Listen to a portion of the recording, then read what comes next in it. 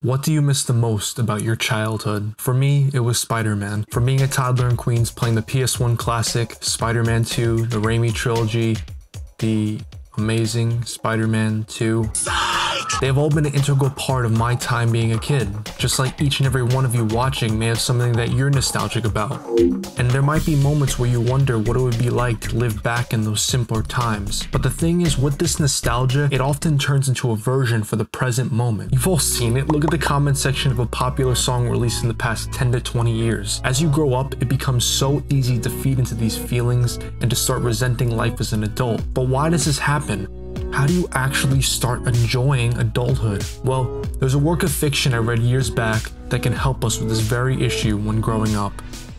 One of my favorites that I'm sure many of you know of is Ultimate Spider-Man. Released in 2005, this game was a direct adaptation of the comic series with the same name that began at the turn of the century. I started reading this series in 7th grade, and among the countless things I love about it, there is one issue in particular that contains a valuable lesson where it explains the common tragedy that occurs when transitioning from childhood to adulthood. Ultimate Spider-Man issue 80 written by Brian Michael Bendis with art by Mark Bagley was published not long before the video game on July 20th, 2005. As part 2 of the Warrior storyline, we see Kingpin aka Wilson Fisk lure Peter to his building to manipulate him into doing some dirty work for him. Amid their conversation, Kingpin details the landscape of the people society as a whole to explain the public scrutiny that Spider-Man receives on a daily basis. Specifically, he explains that this hatred comes from a place of projection, projection of people's insecurities from realizing that they themselves are not special like Spidey. He explains to Peter that they don't want to be reminded of how weak-willed and sheep-like and unspecial they are. Kingpin claims that the general population is gleeful to be this way, and that Peter is unable to foresee this reality due to him still being a child. He mentions that he'll soon be met with this harsh slap of reality. I remember reading this back then, and I really thought to myself, this cold slap of reality.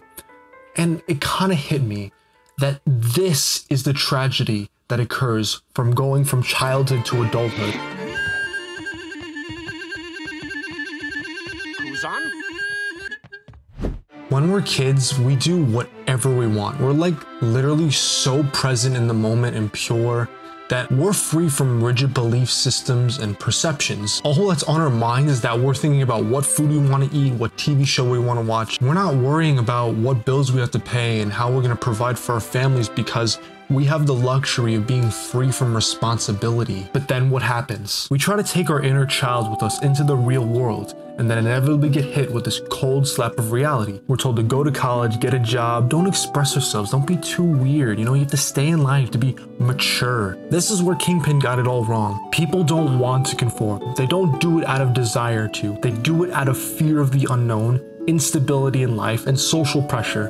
This is the sad trap of adulthood. This slap of reality Kingpin describes as not a forced hand, but a fear response to the nature of society as a whole that leads us to this overload of nostalgia and wishing to be a kid again. And I want to make something very, very clear for all of you watching. I'm not asking you to quit your job and drop out of college. This is about your personality and relationship with fear. I'm not advocating for you to develop Peter Pan syndrome. There are responsibilities that you have in this life. And what I am saying is that we want to bring this responsibility we have have and let it blend beautifully with the inner child that we have in each and every one of us. To put it simply, the slap of reality is a crossroads not between pursuing your dreams and being different, but between living on your own terms and living life on society's terms. There are two sides to this danger. For one, this includes other people. Nobody's ever going to believe in your dreams like you do. And there are many people out there who will reject the expression of your true self out of insecurity. If you're not confident and convicted in who you are and your purpose,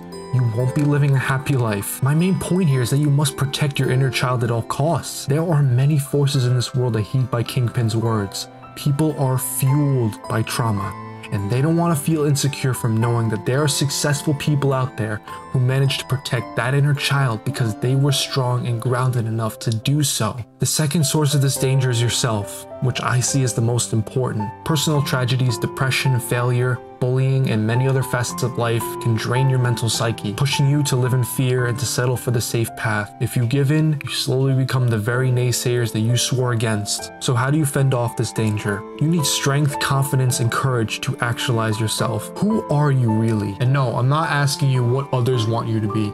I'm asking you, What do you want to be? It's a thin line that's deeply rooted by fear, and I mean all of this is. Actualization of yourself is a lifelong endeavor, but it's all about the journey, not the destination. You have to be strong through all the blood, sweat, and tears.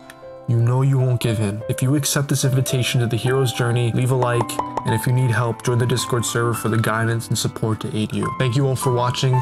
With great power and great responsibility, signing off.